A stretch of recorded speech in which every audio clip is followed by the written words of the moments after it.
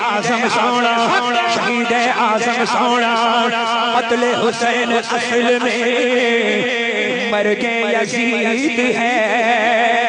इस्लाम ज़िंदा होता है, हर बला के बाद शहीद आज़म सोना, शहीद आज़म सोना, शहीद आज़म सोना, शहीद